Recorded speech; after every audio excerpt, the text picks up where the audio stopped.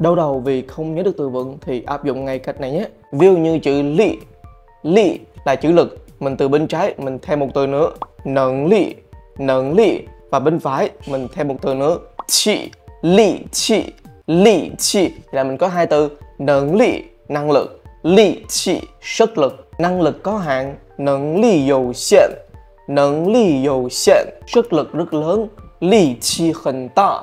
Lị, chi hình tạ. Miệng miệng là chữ mặt bên trái mình thêm một từ nữa liền liền miệng liền miệng mặt mũi bên phải thêm từ thiếu cho ra miệng thiếu miệng thiếu mày tôi không còn mặt mũi gặp anh ấy 我没有脸面见他我没有脸面见他 chén mì này thật là ngon 这碗面条真好吃这碗面条真好吃 sợ sợ âm Hán viết lại sắc bên trái thêm một từ, hào sợ hào sợ, háo sắc bên phải thêm một từ tài sợ tài sợ tài sắc màu màu sắc bạn thật là háo sắc nì trên hào sợ, nì trên hào sợ.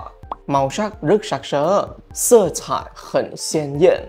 Sợ thải hẳn xiên diện. Ok là hiểu chứ đừng quên nhấp chuộng và đăng ký theo dõi Trey Lão Sư nhé 再见